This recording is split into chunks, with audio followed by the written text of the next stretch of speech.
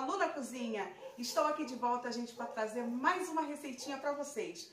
Antes de eu passar essa deliciosa receita, se inscreva no canal, ative o sininho de notificações, compartilhe com todos os amigos, olha, aquele joinha para fortalecer, tá bom?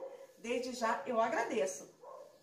Beijos e vamos aos nossos ingredientes. Gente, para fazer esse merengue suíço, alguns chamam de marshmallow também, tá? A gente vai utilizar três claras,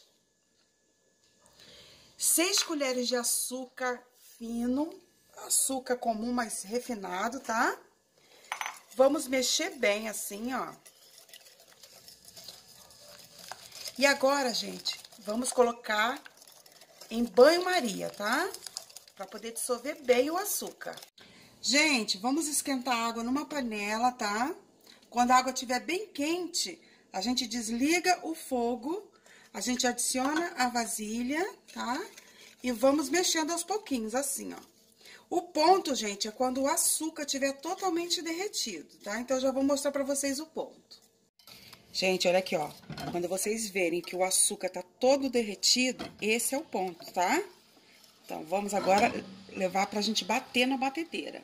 Gente, agora a gente vai bater até ficar bem cremoso, bem virar uma neve.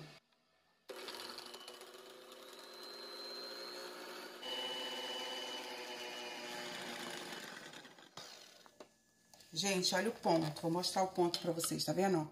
Ficou um creme bem espesso, bem durinho, tá vendo? Olha. Gente, isso aqui é uma delícia. Nossa, vocês vão amar fazer isso.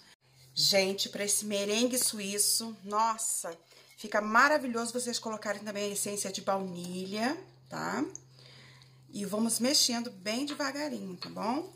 E, gente, o leite em pó. E vamos incorporando aos poucos. Gente, isso aqui é uma delícia para vocês fazerem cobertura de bolo, recheio de bolo. Nossa, muito bom. Eu adoro esse merengue, né? Uns chamam de marshmallow, outros merengue. Eu prefiro falar um merengue. Lembrando, gente, que é só mexer até incorporar os ingredientes. Não é para bater mais na batedeira, tá? Gente, tá prontinho o nosso merengue. Nossa, o nosso marshmallow, nosso recheio de bolo, nossa cobertura. Viu como é que é facinho fazer, gente? Espero que vocês tenham gostado. E se tiver gostado, se inscreva no canal, ative o sininho de notificações, tá? E compartilhe. Agora eu vou levar à geladeira, gente.